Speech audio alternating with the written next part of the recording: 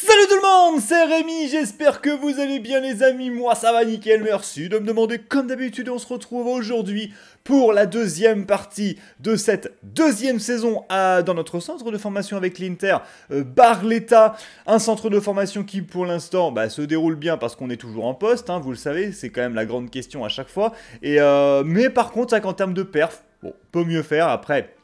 L'équipe est jeune, l'équipe euh, mérite encore d'être un petit peu peaufinée. J'espère juste qu'on va nous laisser la chance de pouvoir le faire. Je vous invite évidemment à liker la vidéo ainsi qu'à vous abonner à la chaîne si vous ne l'avez pas encore fait. Sachez une petite chose, les amis, c'est qu'il euh, risque d'y avoir un petit chamboulement de programme dans les prochains jours euh, et peut-être les prochaines semaines, voilà, avec l'arrivée évidemment de la Coupe du Monde et aussi de la Coupe du Monde sur, euh, sur FIFA. Hein. Euh, voilà, il va y avoir quelques vidéos qui vont, qui vont sortir et donc qui vont peut-être remplacer. Alors, on va certainement tourner un peu plus de vidéos par semaine, ce qui va faire presque plus de une par jour. Quoi. On va être à 8 par semaine, ça fait beaucoup. Bon, je vais essayer d'assumer euh, ce que je peux en tout cas. Voilà, en tout cas, je sais que dimanche, normalement, il y aura deux vidéos. Voilà, je vous le dis, c'est comme ça, c'est cadeau. normalement, je dis bien normalement, parce qu'encore une fois, il faut que je réussisse à m'organiser, que tout se passe parfaitement bien et vous le savez que parfois euh, les aléas de la vie font que ça ne passe pas comme, euh, comme on veut mais dans tous les cas dans mes objectifs là personnels euh, je pense que deux vidéos dimanche ce serait le top donc voilà J'espère qu'elles vous plairont. On va directement regarder ce qui a pu se passer. Nous sommes au 2 février. Nous avons donc fait les transferts. Et avant de vous montrer les transferts, je vous montre quand même la note manager. Elle est très bonne. Vous le voyez parce qu'on a euh, rempli quelques objectifs. Je vais vous montrer les objectifs, on les avait montrés en début de saison. Il y avait recruter un jeune joueur et un objectif financier. Vous le voyez en haut, 4 sur 4, ça veut dire qu'on a acheté deux joueurs cruciaux et, euh, vendu deux joueurs. Donc voilà, j'ai fait quelques transferts, on va dire, euh, juste pour la note manager, pour ne pas me faire virer, parce que c'est vraiment quelque chose que j'ai pas envie. Hein. Voilà, on est vraiment content avec ce centre de formation, j'ai vraiment pas envie de faire de, conneries. Donc je vais vous montrer les deux joueurs en fait que j'ai achetés et que j'ai libérés dans la foulée, parce que oui, je les ai libérés quand même derrière. C'était euh, important. On va classer ça par, euh, date. On a, on a recruté tout simplement Vargas et Maëlé. Voilà, je, les ai mis cruciaux tous les deux. Il y en a un qui est jeune, donc c'est pour ça que j'ai eu l'objectif jeune joueur. Et les deux étaient cruciaux, donc c'est pour ça qu'ils m'ont rempli les objectifs. Je les ai libérés dans la foulée. Voilà, maintenant ils sont repartis. Lui est libre de tout contrat et Maël est revenu libre de tout contrat. donc... Euh, voilà, ils ne sont plus chez nous, mais euh, voilà, j'avais décidé quand même de les, euh, de les acheter pour que euh, le CA soit quand même un minimum content. On a prêté le petit Lund du côté de Pise, on a prêté le petit Sorrentino qui était notre gardien numéro 1 depuis le début de saison, mais comme on a eu un autre gardien qui est arrivé, on a décidé de le prêter. Le petit Esposito est également parti en prêt du côté du Real Oviedo, donc ça je vous en avais parlé lors du dernier épisode, il y avait une piste et la piste a été concrétisée. Voilà pour tout ce qui concerne les prêts et les transferts. Là on est chaud, on a une très belle équipe. A noter que dans l'équipe il y a deux nouveaux joueurs, je vous les présente, mais vous les connaissez si vous avez suivi le dernier épisode. Il s'agit de Lala, qui était un joueur du centre de formation qui vient d'avoir 16 ans. Je l'ai donc recruté directement pour être euh, notre ailier gauche remplaçant aux côtés de Aika. Bon, à voir comment ça se passe. S'il y en a un qui va sur la, droite ou pas, je, verrai. Peut-être que je vais bifurquer d'ailleurs Ika, euh, ailier droit, histoire qu'il ait un peu de temps de jeu. Euh, sachant, que, sachant que le Barrios risque de jouer aussi parce que je simule quelques matchs par calendrier, donc voilà. Euh, et enfin, j'ai recruté aussi un autre défenseur, c'est un défenseur central parce qu'on manquait un petit peu de profondeur de banc en défense centrale. Il s'agit du petit Santos qui avait un bon potentiel, euh, voilà, qui a 16 ans, juste 16 ans, donc je me suis dit pourquoi pas? On le prêtera certainement l'année prochaine pour qu'il puisse progresser. Voilà les amis en ce qui concerne l'équipe, je vous montre le centre de formation également parce que c'est quelque chose qui, dans un centre de formation, intéresse vivement. On a toujours le petit Jensen qui est là. Alors, même si son potentiel est éclaté, sachez que dès qu'il a 16 ans, je le récupère parce qu'il est meilleur que notre euh, latéral droit actuel. voilà, j'ai pas trop le choix. Lui, je pense que je vais pas tarder à le récupérer. Il a 59 de gêne. On n'a pas forcément beaucoup de, remplaçants sur le côté gauche. Je pense que Arvid Johnson, je vais le récupérer. Et après, on a quelques bons joueurs, euh, notamment un bon gardien ici, le petit Miguel Carbral. On a un autre gardien ici, un, un, Serbe plutôt cool. Et après, les autres, on va attendre que ça change de poste ou que ça euh, se confirme en termes de potentiel pour les récupérer. Il y a des bons joueurs, mais pour l'instant, pas d'énormes cracks ultimes. Voilà, on espère évidemment en trouver un cette saison. On est toujours du côté du Brésil, du côté de la Suède et du côté de la Serbie pour cette saison. On verra bien où on ira l'année prochaine. Vous m'avez déjà donné des, pistes en commentaire pour, euh, de lundi dernier. Donc, bah, écoutez, on verra bien où on va aller. Pour le programme de la vidéo, vous le connaissez, il est très très simple, on va se retrouver pour les trouvailles. C'est un gris de cette saison. On se retrouve enfin à la fin de cette saison pour le bilan final, le petit gameplay qui va bien. Et voilà, et là, tout le monde sera content. C'est parti. Moi, je vous l'avais pas montré, mais on est très mal classé. Hein. Voilà, très très mal classé. 18ème, c'est éclaté. Alors là, nous avons un très bon latéral droit, Raphaël Almeida. Il a l'air d'être très intéressant. Une grosse vitesse, une grosse endurance, euh, beaucoup de tacles glissés. Ça veut dire qu'à mon avis, il est vraiment défenseur droit et qu'à mon avis, il pourrait être... Euh, il vaut 2 millions d'euros quand même. Hein. Il vaut 2 millions d'euros, un très gros potentiel. Oh, il peut être intéressant. Un autre très gros potentiel, 80-94 de potentiel pour Diego, euh, Diogo pardon, Castro. Euh, ça peut être aussi très cool. C'est effectivement plutôt pas dégueulasse. voilà, il a 66 de général, le petit Raphaël Almeida. Je pense qu'il est clairement à son poste. Il est droitier. Je vais juste le mettre défenseur droit parce que je préfère toujours. Mais je vais le récupérer très très vite. Et Diogo Castro a l'air d'être un joueur hyper complet. On le voit, il n'a pas de stats rouges, hein, entre guillemets. Il n'a que des stats orange au milieu. C'est quand même plutôt cool. Il a une bonne vitesse, un bon physique. À voir si on peut le changer de poste parce qu'il est plutôt bien. Euh, peut-être que, ouais, non, je pense, je en vrai qu'il à son poste. Hein. Je pense qu'il à son poste. Ça ferait quand même deux défenseurs euh, droits euh, intéressants qu'on vient de récupérer. C'est quand même plutôt cool. Pas grand chose à dire hein, pour le changement de poste de Rafael Almeida. Il passe tranquillement défenseur droit sans souci. Je vais le mettre latéral défensif pour qu'il puisse continuer à progresser dans sa contribution défensive. On le voit qu'elle n'est pas top. Elle est moyenne. Donc voilà, je préfère quand même qu'il qu'il augmente là-dessus. Et pour le coup, je décide de le récupérer dans la foulée. Je pense qu'on va le, voilà, on va le mettre titulaire. Il va être déjà déjà dans l'équipe type euh, dès qu'il arrive. Quand on voit la différence avec son acolyte, déjà, on se dit qu'il prend, euh, prend clairement sa place. Alors même si son potentiel finalement n'est pas si fort que ça, parce qu'il a là pour l'instant un potentiel qui n'est pas confirmé, 78, 94, c'est pas, pas confirmé. Mais c'est déjà exceptionnel, euh, donc on va le garder, on va le mettre là, il est bien, il est au chaud. Et j'espère qu'il nous fera des dingueries. Oh putain, 3 millions, j'ai pas, j'ai pas, je l'ai passé, 3 millions, les gars. J'ai pas regardé, mais à mon avis, ça doit être un bon joueur. Encore un gardien, c'est hallucinant. Les gardiens, par contre, on en trouve beaucoup, beaucoup, beaucoup. Beaucoup trop, pour le coup, dans ce centre de formation. Bah, il y en a bien un ou deux qui vont être euh, topissimes, j'imagine. Ah bah ouais, ah bah ouais, c'est pas mal. Et en plus de ça, c'est encore un milieu de terrain central. Ça, par contre, c'est une vraie bonne nouvelle. Alors, il pourrait techniquement, je pense, être milieu de terrain offensif parce que euh, au vu de ses stats, voilà, il a quand même des stats très offensifs. 47 de défense, c'est pas mal, mais je pense que si je le passe MOC, il peut prendre, allez, il peut passer à 70. Et le gardien, le gardien, 61 de général, un énorme potentiel. Euh, ça fait partie des joueurs que, voilà, si leur potentiel se confirme, je le récupère, je le prête. Je pense que ça peut être des, gardiens qui dépassent notre gardien. Vous savez que quand on prête un joueur, de toute façon, il y a parfois un bug qui fait qu'ils prennent 5 points d'un coup. Donc si ça se trouve, c'est ce qui va se passer avec ce genre de joueur, et ce sera exceptionnel. Alors, instant de vérité. Bon, il prend qu'un seul point. Je suis presque déçu parce qu'un seul point, ça ne suffit pas. Est-ce qu'on peut le remettre MC C'est la question. 9 semaines, je vais le remettre MC, les gars. Je pense que je vais le remettre MC. On manque cruellement de milieux de terrain centraux. Il va falloir vraiment euh, les garder. Donc, 9 semaines, ça me va. On va faire ça. Allez, les amis, on se retrouve pour le bilan de cette fin de saison. Et donc, le petit gameplay pour terminer. Nous avons terminé, ou nous allons terminer 16ème de cette série B avec 34 points. Nous avons la possibilité, si on perd de plus de 2 buts dans ce match de gameplay, de passer derrière euh, Cosenza. Donc voilà, finir 17ème.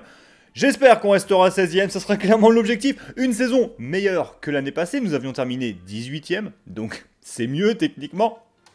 C'est pas non plus dinguissime, on va pas se mentir. Euh, on aspire à mieux dans ce centre de formation. Mais le CA, pour le moment, est extrêmement content. Mais ça, c'est clairement grâce à, ce qu'on a fait au niveau des transferts. Si on n'avait pas fait ça, je pense que le CA aurait clairement diminué la note. J'étais déjà dans le orange hein, avant de commencer la vidéo. Donc c'est aussi pour ça, hein, que ça que ça joue. Mais on est quand même content d'être là et d'être toujours en poste. Au niveau de la Coppa d'Italia, nous n'avons rien fait. La finale, ça sera Juventus Milan. Euh, ben on si on est passé, on a passé le premier tour. Et après, on a perdu face à Com. Ça, je vous l'avais déjà montré lors du dernier épisode.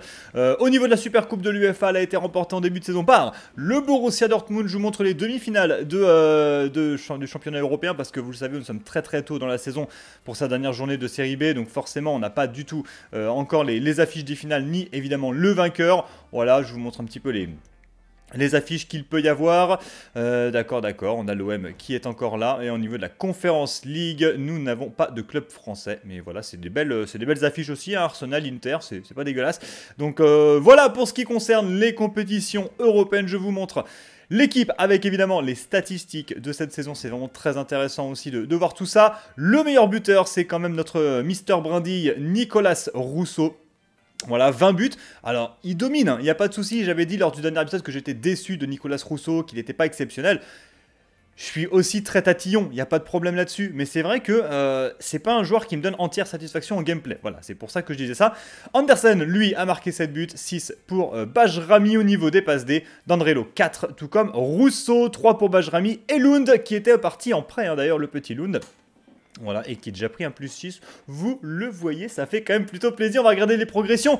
Évidemment, parce qu'on aime ça, les progressions. Le petit Nicolas Rousseau a pris son plus 5. Le petit Dal a pris son plus 4. Dandrello plus 4 également. Ça, c'est plutôt cool hein, pour lui. Richie plus 3 sur le côté gauche. Voilà, on, a, on, a, on, attend beaucoup de lui. On sait que c'est vraiment le gros crack de l'équipe. Est-ce qu'il a encore la mention peut devenir spéciale? Non, évidemment, je pense qu'il la perd de tous au fur et à mesure.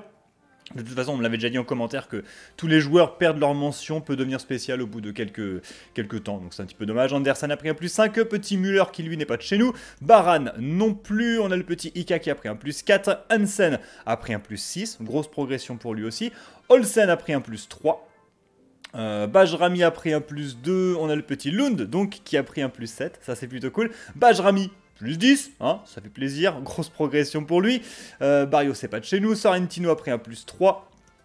Le petit Ika prend un plus 3 également. On a quoi On a quoi euh, On a Santos qui prend son plus 3. On a Almeida qui prend un plus 1. Un autre petit latéral droit qui a joué que 5 matchs mais il vient juste d'arriver donc c'est normal.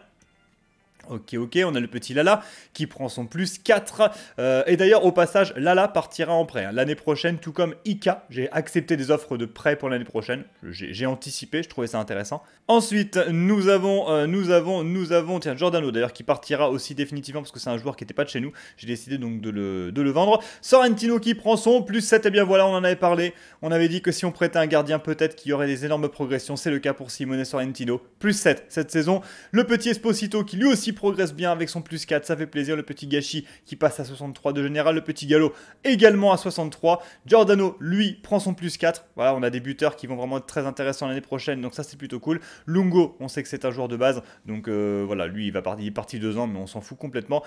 Ben franchement, c'est plutôt cool, surtout pour Sorrentino qui sera certainement notre gardien titulaire l'année prochaine parce qu'au niveau de la compo, eh bien notre gardien titulaire c'est Bajrami et il a que 66. Donc clairement, ben, avec son 70 de général, il vient prendre, prendre sa place de manière claire, nette et précise. Eh bien écoutez, je suis plutôt très content de ce qu'on a fait cette saison, c'est quand même plutôt cool. Un petit coup d'œil au centre de formation, même si normalement, vous l'avez vu, on a, euh, on a toujours Raphaël Tavares qui est là, que je rebifurque pour être MC. Bon, pour être honnête avec vous, je vais le promouvoir en équipe senior tout de suite. Hein. ça sert à rien de tergiverser, c'est un gros joueur.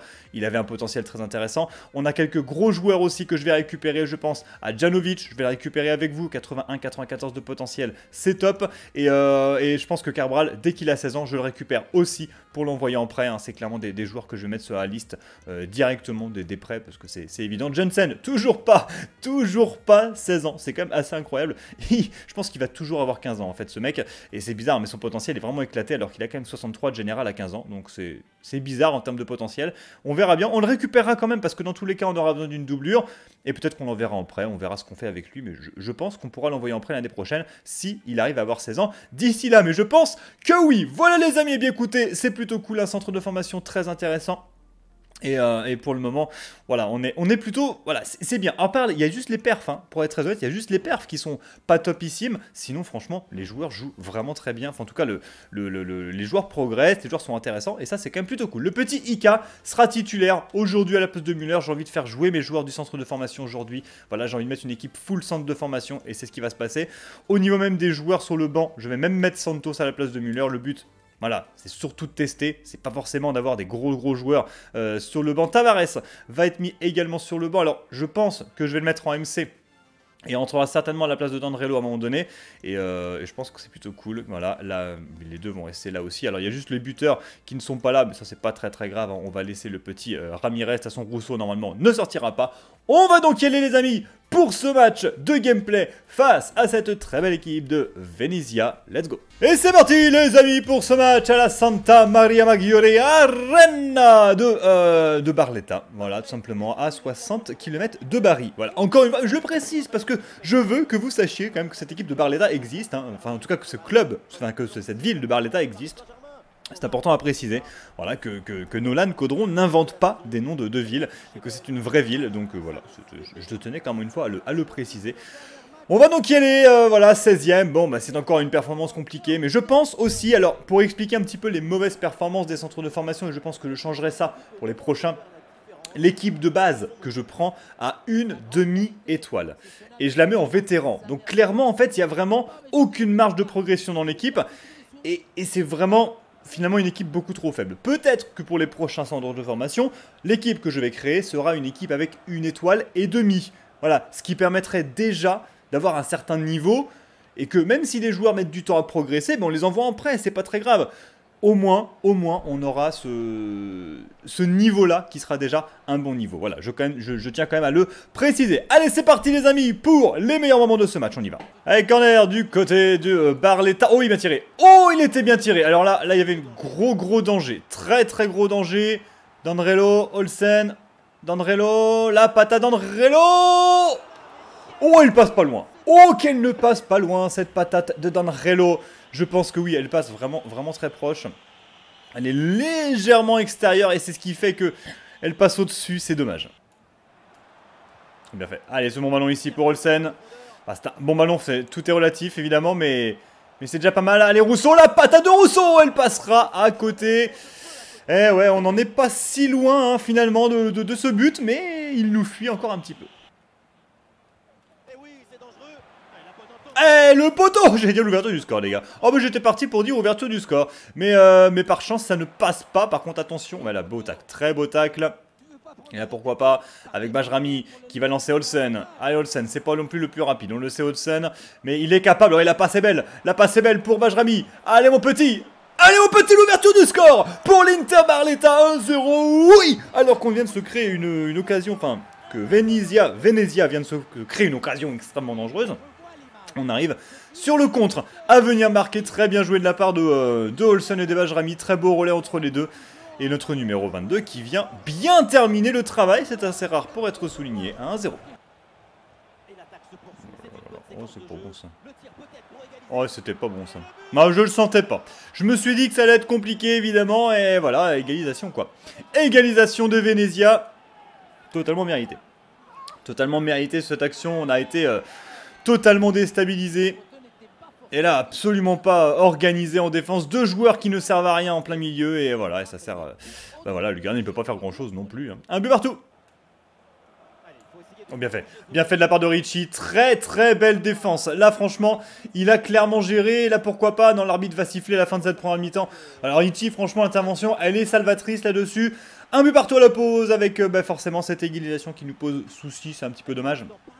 Mais c'est comme ça, ça arrive. Ça arrive malheureusement, surtout, euh, surtout avec nous, hein, défensivement, on sait qu'on n'est absolument pas... Euh, on n'est pas exceptionnel. C'est comme ça, les amis. Est-ce qu'on fait des changements? J'ai pas forcément envie d'en faire tout de suite. On va laisser l'équipe comme elle est et on y va pour cette seconde mi-temps. Allez, bien fait. Allez, Richie. Là, euh, allez, Rousseau. Oh, c'est pas vrai, Rousseau, mais... Oh. Eh, Rousseau, mais c'est un... C'est un poids lourd, quoi, le mec... Je, comprends pas. Ce, joueur, j'arrive vraiment pas à jouer avec lui. Hein. C'est quand même assez hallucinant. J'espère qu'il va progresser hein, au fur et à mesure des saisons parce que là, ça devient compliqué. Là, la passe, elle est totalement inutile. Oh là là là là, ça, ça, joue bien. Ça joue bien du côté de Venezia. Nous, on est vraiment pas très très bien dans ce match. On va procéder au changement. À cette 62e minute de jeu, Bajrami va sortir. On va faire rentrer bah, Lala, pourquoi pas. Est-ce qu'on fait rentrer Lala? Ouais, j'ai envie de faire rentrer Lala, les gars. On va faire rentrer Lala. Sorrentino va rentrer à la place d'Olsen. Almeida, euh, ouais, Almeida c'est pas dingue. Du tout pour le moment. Après, voilà, c'est pas un joueur mauvais. Hein. C'est juste que c'est pas exceptionnel. On va le laisser quand même. Euh, pour le moment, j'ai pas envie de le sortir tout de suite. Santos peut-être? Non, non, non. On va le laisser comme ça. Et c'est Tavares que je veux voir aujourd'hui. Il va rentrer à la place de euh. Pourquoi pas? Eh oui, on sait jamais. le jeune joueur qui va peut-être nous faire des dingueries. C'est parti pour ce corner du côté de Venezia. Il va falloir euh, faire attention. Voilà. Et puis pourquoi pas pourquoi pas essayer euh, d'aller gagner ce match Tout est possible, mais c'est vrai qu'il y a une nette domination aujourd'hui de nos adversaires. On se fait bouffer. C'est monstrueux, les gars. C'est monstrueux de se faire bouffer pareil. Oh là là là, regardez ça. Ouf, ça passe. Oh, il est seul. Oh, il était seul. Heureusement. Heureusement, le contrôle n'est pas bon. Et la défense derrière, par contre, la relance... J'ai dire, la relance est bonne. franchement, le karma, les gars. Le karma, et ça va faire... Oh, ça va faire but, ça. Oh, bah oui, voilà, j'en étais sûr. Le karma, les gars, mais dans la gueule. Hein. Karma dans la gueule, vraiment. Hein. J'allais dire, les relances sont propres parce qu'elles sont rapides, etc. Voilà, mon cul aussi, tiens. Ah, c'est toujours aussi compliqué hein, pour l'instant de jouer avec cette équipe de Barletta. Incroyable, on n'y arrive pas du tout. On n'y arrive pas. On n'y arrive pas, du coup, c'est vrai que la place est totalement méritée pour le moment. On a des joueurs qui n'arrivent pas vraiment à se trouver, une équipe qui n'est pas, cohérente, une défense qui fait n'importe quoi et qui ne défend pas. Donc voilà, qu'est-ce que vous voulez qu'on fasse? C'est très compliqué. 86e minute de jeu et ça fait 2 buts 1 pour Venezia. Et ici, il marquait, on passait 17ème, les gars, hein, franchement. Enfin, s'il marque, d'ailleurs, s'il marque, parce qu'il reste encore une occasion, on finit 17ème. Voilà, juste comme ça, pour vous le dire, comme ça, parce que j'aime vous donner des infos. C'est comme ça. Bon, c'est la fin de ce match Défaite de buts 1 pour changer. Hein. Je crois qu'on a fait que des défaites hein, en gameplay pour l'instant, tout va bien. Non mais tout va très bien dans le meilleur des mondes. Après voilà, je pense que euh, bah, ils étaient meilleurs aussi que nous hein, euh, sur le papier. De toute façon, ils avaient des, euh, ils étaient mieux placés, etc. Mais c'est vrai que malgré tout, bah, on aurait pu, on aurait pu estimer, mériter beaucoup mieux. Petit coup d'œil quand même rapide au, classement. Je, tiens à regarder. Alors, puis même la note manager, mais normalement la note manager ça va aller parce que voilà, on, reste 16e, on finira 16e dans cette compétition. C'est comme ça, voilà, ça, arrive. Mais bon, bah, j'espère vraiment qu'on va faire de mieux en mieux, qu'on va réussir à monter au fur et à mesure des saisons. Et maintenant, si on gagne que deux places par saison, les gars, ça va pas aller très vite. On va avoir du mal à aller remporter les championnats européens. Mais voilà, avec les joueurs qui vont revenir de près, ça peut être très intéressant. Avec les joueurs qu'on va envoyer en prêt qui vont peut-être gagner des points, je pense qu'on peut réussir à faire des trucs très intéressants. Je l'espère en tout cas. J'espère que cette vidéo vous a plu. Je vous invite à lâcher le petit pouce bleu hein, pour rétribuer le fait que vous appréciez la vidéo. Voilà. Et l'abonnement pour montrer que vous aimez mon travail. Voilà, c'est ça. C'est Chaque chose a, son utilité, il faut le savoir. Bref, merci beaucoup en tout cas d'avoir suivi cette vidéo. On se retrouve dès demain pour une prochaine vidéo et dans une semaine. Enfin non, lundi hein, pour le, début de, cette, euh, de la troisième saison, la première partie de la troisième saison dès lundi. Merci beaucoup les amis, gros gros cœur sur vous, prenez soin de vous, vous le savez, c'est le plus important, c'était Rami. Bisous bisous